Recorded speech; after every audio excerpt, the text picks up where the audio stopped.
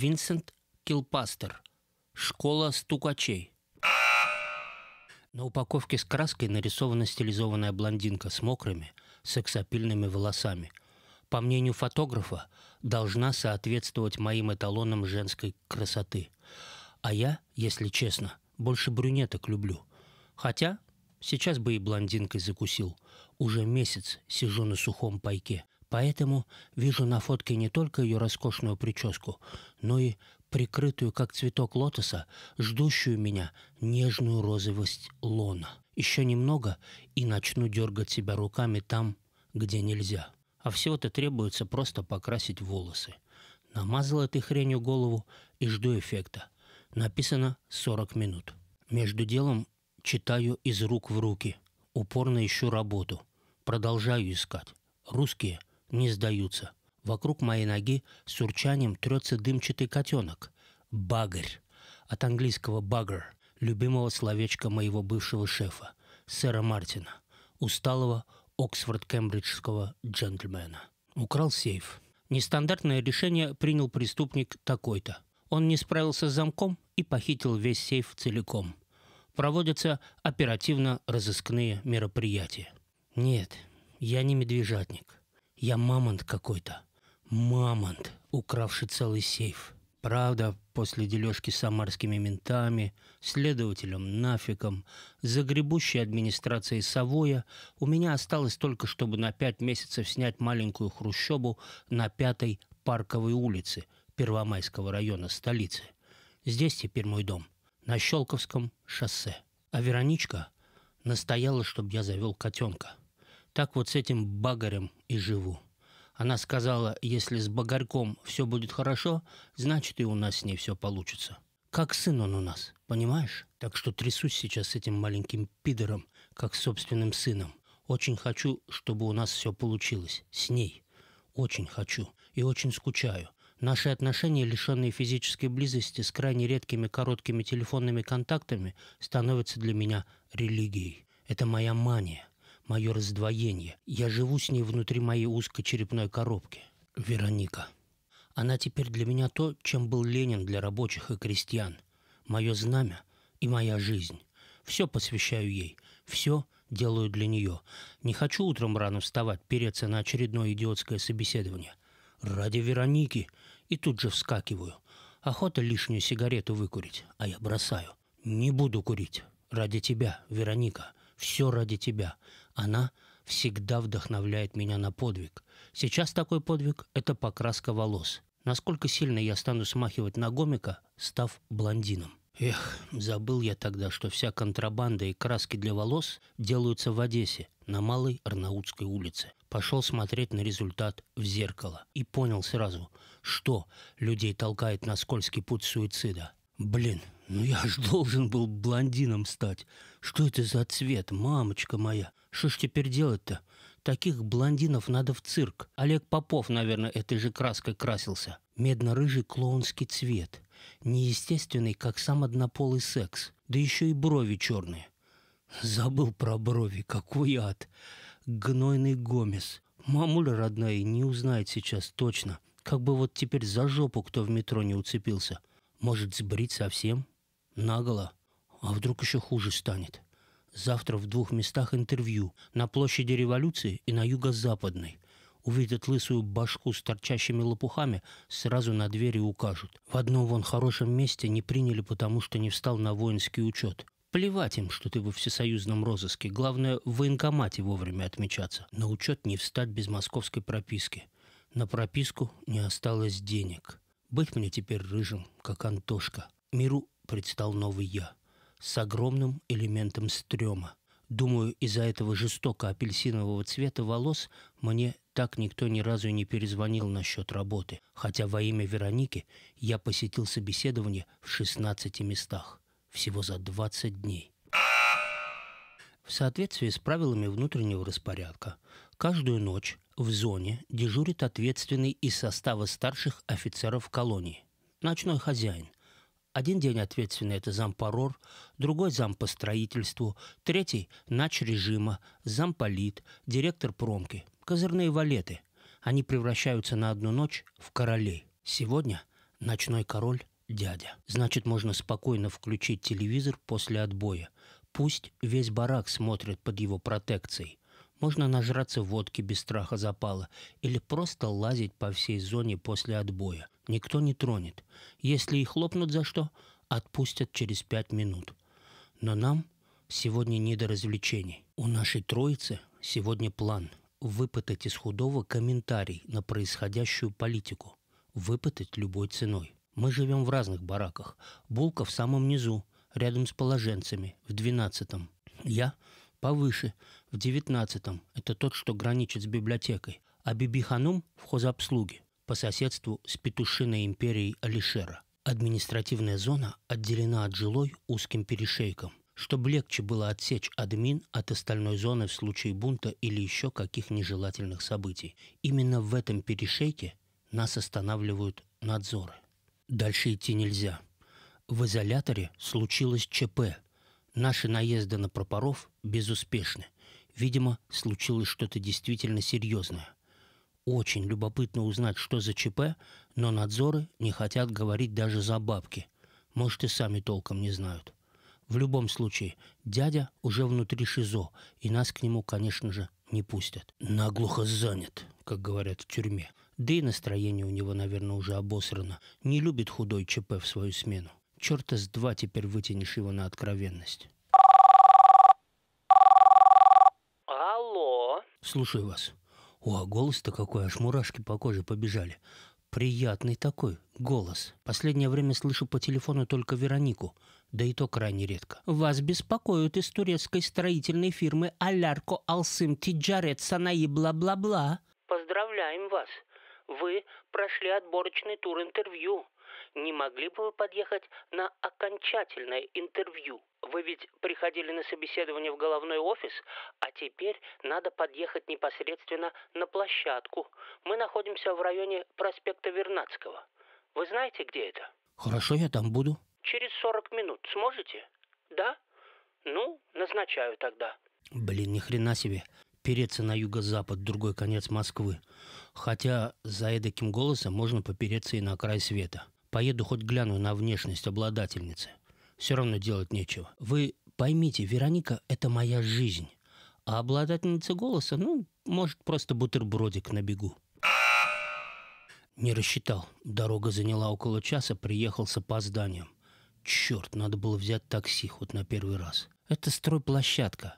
Ну, почище, конечно, чем наша советская стройка, но все равно. Стройка, она и есть стройка. А строят они какую-то мечеть. Представляете, в Москве тоже бум мечети строить. Как в Ташкенте. Хм, знак времени. Грязища сплошная, размытая и изъезженная глина. Чвак-чвак-чвак под ногами. Смертный приговор моим новеньким Экко. 80 баксов за них выложил, чтоб тут глину месить. Жалко туфельки. Ну, эта звездочка по телефону теперь должна быть первой красавицей Москвы, иначе я ее придушу на месте шнуром от факса. Приехал на свою голову. Если тут возьмут на работу, стану ходить в охотничьих сапогах. Вместо обладательницы нежного голоса я оказываюсь лицом к лицу с испуганным человечешкой по имени Воролбей. Замзама. Воролбей очень смущен. Он часто приглаживает редеющие масляные волосы и вообще ведет себя так, как будто это я беру его на работу, а не он меня. Он робко задает вопросы, и довольно быстро выясняется, что по-английски я говорю гораздо лучше, чем он. Он радостно жмет мне руку, поздравляет с огромной честью, свалившейся на мою голову, и спешит от меня избавиться. Можно приступать хоть завтра. Нет уж. Ну тебя в Воролбей и турецкую строительную фирму, строящую в Москве мечеть. Аллаху Акбар. Это кататься через весь город и месить на стройплощадке грязь. Спасибочки. Переводить на английский для людей, которые сами с трудом его понимают. Фу, нетушки. Пусть Воробей поищет другого дурака. Уверен, есть еще кандидаты. Я уже твердо и окончательно постановил никогда туда не возвращаться, когда в первый раз в жизни увидел Ленку. Ту самую, обладательницу утреннего нежного голоса, в котором слышался многообещающий размер груди. Она сидела в стеклянном аквариуме перед телефонной станцией Panasonic и хлопала на меня непропорционально огромными, маслично-бездонными глазищами, от которых у меня перехватило дыхание и подпрыгнуло к горлу сердца. Опа-па! А здесь не так уж все и запущено. Ладно, в конце концов, можно купить себе дешевые резиновые сапоги. По обыкновению своему, проспав до самого объявления на утренний развод, я рву со всех ног в нарядную. Нельзя опаздывать на развод. Из-за меня одного на работу может опоздать целый завод. Застегиваю на ходу робу, вылетаю на плац, где происходит развод, и немедленно просыпаюсь. Весь плац заполнен сидящими ровными рядами людьми. Ментов не видно. Но сидят они так ровненько, будто окружен плац тройным кольцом автоматчиков. Узкий перешеек, ведущий в админ, перегорожен неизвестно откуда взявшимся бетонным бордюром. Дорога в нарядную отрезана. Первая мысль. Ну, слава богу, перекличку не надо делать. Пока непонятно, что происходит, но мне уже ясно. На развод я не опаздываю. Похоже, что его не будет совсем. Но есть и плохие новости.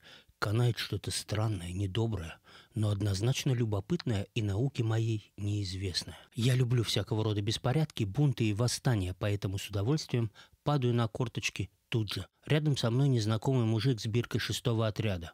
Незамедлительно приступаю к интервью. «А что за хрень тут канает, братка?» «Ты чё, прогон братвинский не слыхал, что ли?» «Проспал я. А что за прогон?» От бурята канает. Всем мужикам собраться на плацу и отсечь штаб от зоны. Ментов в зону не пускать. Просто сидеть у них на дороге.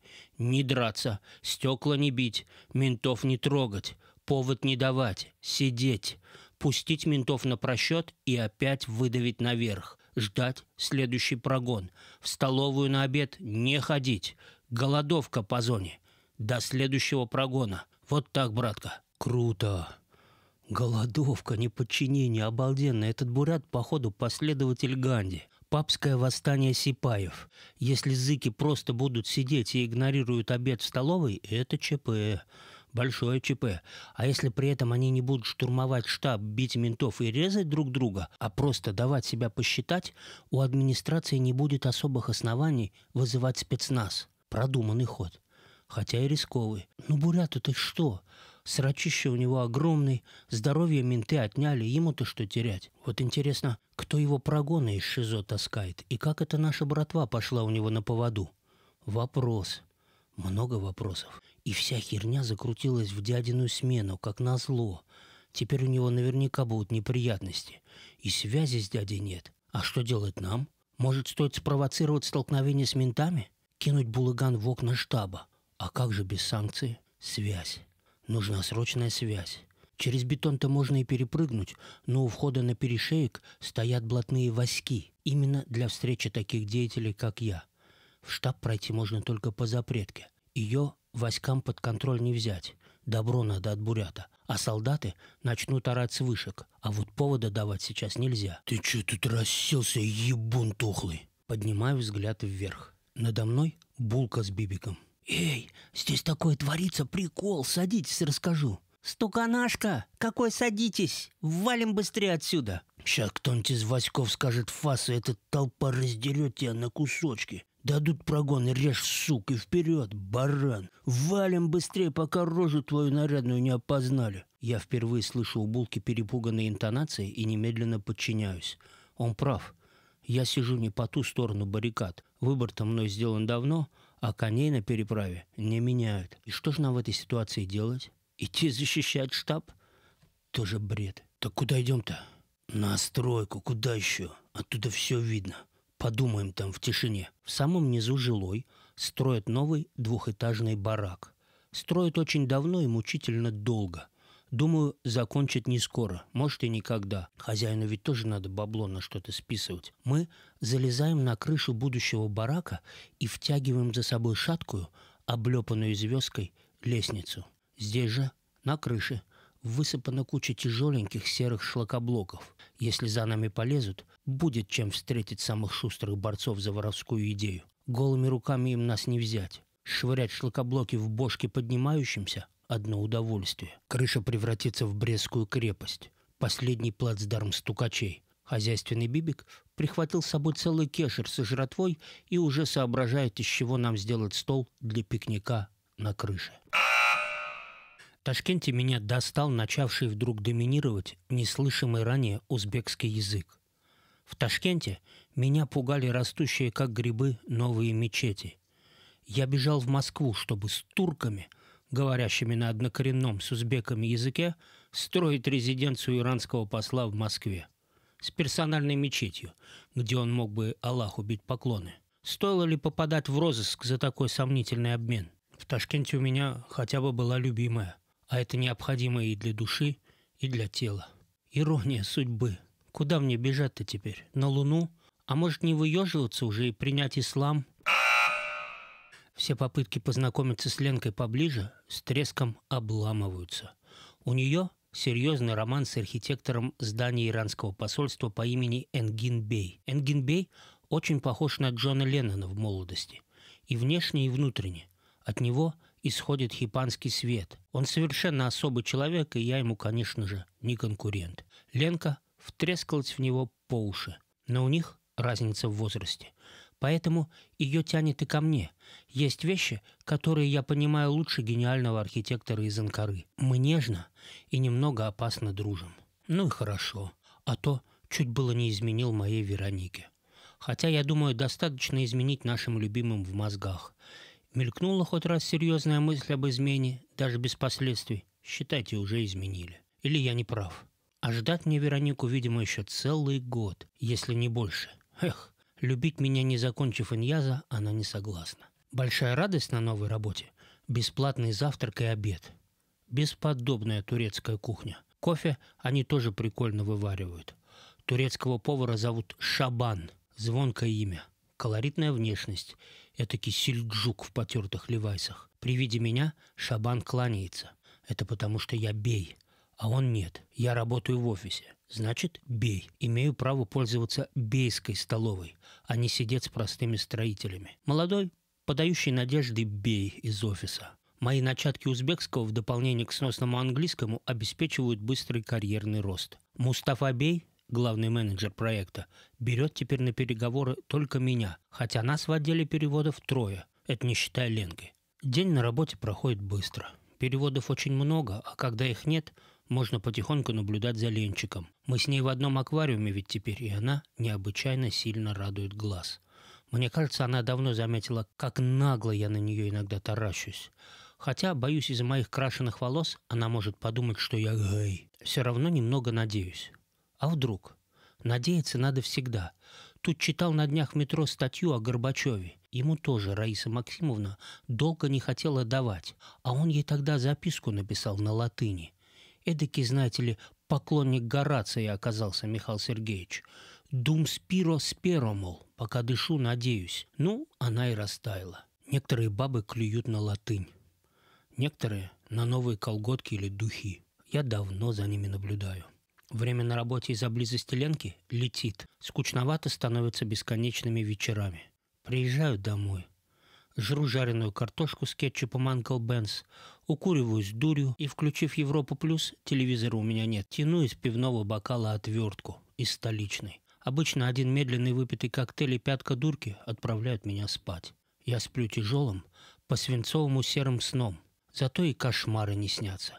И что самое удивительное, и совесть за содеянное совсем не мучает. Только страх, страх перед тюрьмой. Холодный и бездонный ужас. Дурь в Москве, кстати, помогла отыскать Ленка. Именно она направила меня под памятник известному русскому литератору, тому, что презрительно и немного грустно поглядывает на первый русский Макдональдс через дорогу. Торговлю анашой в Москве, как выяснилось, осеняет Александр Сергеевич Пушкин.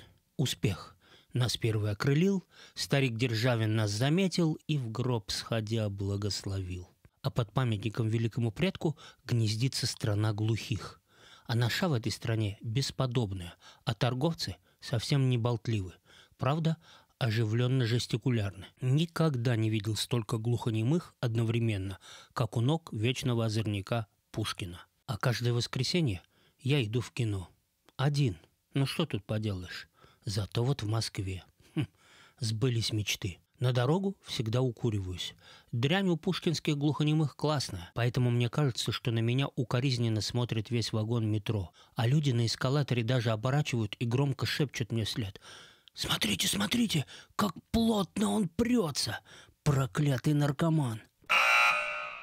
Ночью в дядину смену в камере штрафного изолятора Бурят проглотил сапожный гвоздь. Дядя вынужден был перевести его в санчасть. Ну а как же иначе? Гвоздь – это закуска не особо совместимая с нормальной жизнедеятельностью организма, пусть даже такого опасного и никчемного члена общества, как вор в законе. Выпустил его дядя в санчасть. А через полчаса буряту уже с почетом катили на его таратайке к положенцу. Милостивейшему Сеты Ага. Так начался самый массовый в истории папской зоны бунт. Толпа мужиков по команде Бурята намертво отсекла штаб от зоны. Васьки преградили вход в столовую, чтобы никто не соблазнился и не сорвал политическую голодовку. Ментов запустили в зону только на просчет, чтобы не давать повода. Думаю, пропорам самим особенно не хотелось спускаться в те дни в зону. Она радостно гудела, как высоковольтный провод. Народ любит бунтануть время от времени – Особенно наш, советский народ, ведь с первого класса в школе учат о том, как прекрасна революция.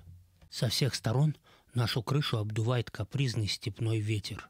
Но он может действовать на нервы только на воле. В зоне ты понимаешь, что порывистый своенравный степной ветерок – это поэтическая ипостась свободы – Бибиков разливает по кружкам портвейн чашма. «Мы как три мушкетера, пацаны. Кругом война, стрельба, а мы спокойно завтракаем в Ларошеле». Вот ведь не знал, что Бибик знаком с творчеством Дюма отца. Нашел, блин, Ларошель на Манганской области.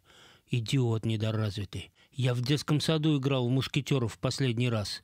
Ха, теперь будем ждать, пока не придут гвардейцы-кардиналы и не пустят нас по кругу. Глотнув вина и стянув с ног свои сапоги, память о Родео в Монтевидео, Булка тоже вступает в разговор. Видимо, они что-то курнули у меня за спиной. Оба в каком-то около литературном настрое. Знаешь, а я дочитал мастера Булгакова. Вчера вечером закончил. Ну, перед всей этой ебанью таракани. Ну и как? Вставила? Ну, как сказать, нормально. Прикольно местами. А что тебе понравилось больше всего? Ну, конечно же, этот Воланд гребаный. Что же еще? Там местами муть какая-то про пилота, дурку, вообще хрень. Какого еще пилота? Что за книжка-то? Бибик жарит пайку хлеба, воткнув в нее пруд, тут же, на костре. Ну, неисправимый кулинар. Про Булгакова слышала, бабуля? А ты, Олежка, я тебе так скажу. Ты, брат, пирог по краям объел, а середку-то середку и выбросил. Про Пилата, про психбольницу не стал читать. Скучно. Понимаешь, Булка, так всю жизнь можно прожить и жрать одну манную кашу. И ничего, знаешь, живут. И желудок у них хорошо работает, и сон нормальный. Но так за всю жизнь и не попробуют хорошего бифштекса с кровью. А ты знаешь, чтобы сделать королевский бифштекс с целой коровы, малюсенький кусок мяса выходит. Прикольно написал, а? Да он писал этот роман семь лет. Семь лет, понимаешь? В это время весь его мир вокруг обрушивался. Все его пьесы, что играли в Москве, в Питере, в Киеве, все запретили. Ни один рассказ не издавали. Элементарных денег не было. Жрать купить. Перечитай, как он меню ресторана Масолицкого описывает. Москва и москвичи отдыхают. Слюнки текут это читать. А задуматься, так ведь он голодный, может, сидел, когда писал эти строчки самые. Его в угол загнали. Он тогда самому Сталину письмо написал. Или работу дайте, или отпустите за бугор. Сталин помог в Амхат пристроиться. Да вот только его пьес играть так и не разрешил. Вот ведь как в жизни бывает. Сталин, да. Говорят, восточный деспот, сын грузинского сапожника. А он возьми-ка то Пастернака тряханет, то Горького, то Пельника, то Мирхольда какого. Сапожник. А вот понимал, какая власть у писателя над массами-то. Так что некоторые считают, что роман «Мастер и Маргарита» предназначен для одного читателя – товарища Сталина. Это ж каким долбаном надо быть, семь лет одну книжку писать. Вот так, Бибик. Редкостным долбаном надо быть, чтобы писать семь лет книгу, которую только ты сможешь прочитать в узком кругу друзей, а потом в стол ее на долгие годы. Мастера и Маргариту издали в первый раз через 20 лет после смерти Булгакова. Я так возбудился от своей речи, что, вскочив на ноги, начал бегать перед Бибиком и Булкой. А Пилат? Ведь он почти все сделал, чтобы спасти Ганоцри, государственного преступника, сказавшего, что всякая власть является насилием над людьми, и что настанет время, когда не будет власти кесарей, ни какой-либо иной власти – Человек перейдет царство истины и справедливости, где вообще не будет надобна никакая власть. А вот не пошел до конца Пилат. То ли за себя убоялся, то ли за державу римскую ее интересы стоял горой, а прогнулся в тяжелый момент. Как я прогнулся, и ты, Олежка, и Бибиков, когда подписки разным дядям давали. Так-то. У всех вон теперь праздник, революция, а мы тут как три мушкетера, блин, гасимся. В белом плаще с кровавым подбоем. Вот тебе, друг, мастер и Маргарита. Книжка-то и про нас, и про всех, оказывается. Вот моя Вероника... Да заел ты уже Вероникой своей. Вон, смотри, все ты ага понесли. Сейчас из него самого Веронику будут делать. Или Маргариту. Мы замираем на крыше и наблюдаем, как толпа человек из пятнадцати выволокла из серединского барака самого Ситы-ага и быстро тащит его на середину плаца на поднятых вверх руках. Это напоминает мусульманские похороны. Вроде нельзя глумиться, но я и не сдержусь. По шариату покойного надо сохранить до заката солнца. Поэтому иногда это выглядит приблизительно так. Родственники поднимают носилки с прахом и во всю прыть устремляются на кладбище бегом, как спринтеры.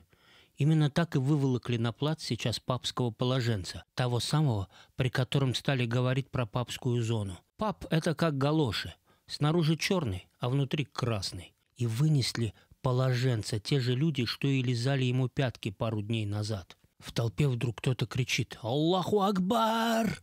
И вот Ситы-Агу уже пинает сейчас на плацу добрая половина зоны. Положенец мешком валяется у них в ногах и пытается закрыть жирное, испуганное лицо. Неподалеку, в инвалидной коляске, сидит и курит пелмел бурят. Изрядно попинав экс-положенца папской зоны, толпа волоком тащит его и швыряет к ногам нового царя. Бурят поднимает за волосы окровавленную башку Сеты-ага и, достав из нагрудного кармана лезвие, быстро проводит им через всю рожу положенца. Блядский шрам. Теперь у Сеты на всю жизнь останется малява на морде. Я сука. Теперь не ему канать по жизни. В зоне устанавливается настоящий воровской ход. Бурят меняет всех барачных и восстанавливает в правах всех, кто был репрессирован по беспределу режимом Ситы. Зона выдвигает четыре основных требования. Включать в бане на жилой горячую воду на каждый день. Сделать субботу выходным днем. Позволить братве заходить в изолятор и запретить зампорору и Момову входить в жилую зону. Совсем – вот так. А иначе голодовка. Нетронутую баланду вывозят из зоны на тракторе. То-то будет праздник у ментовских коров и барашков. На роже шеф-повара промзоны написан испуг. Если так исхуячили положенца, то нам, скорее всего, совсем уже крышка. Пощады ждать не приходится. Все, что у нас есть, это еще одна бутылка портвейна, сигареты, пара бибиковских сэндвичей и куча шлакоблоков. Вполне можно разгуляться. Сутки двое продержимся. William has a stash, I'm told. William has a stash, I'm told. I went down to his place with my pistol and my grace. William had a stash of gold. Old William had a stash of gold. That gold is gonna be mine. That gold is gonna be mine. A pistol in my hand, gonna get it where I can. Oh, William had a stash of gold. Oh, William had a stash of gold. Gold is gonna be mine. That gold is gonna be mine a pistol in my hand, gonna get it where I can. Oh, William had a stash gold. Oh, William had a stash gold.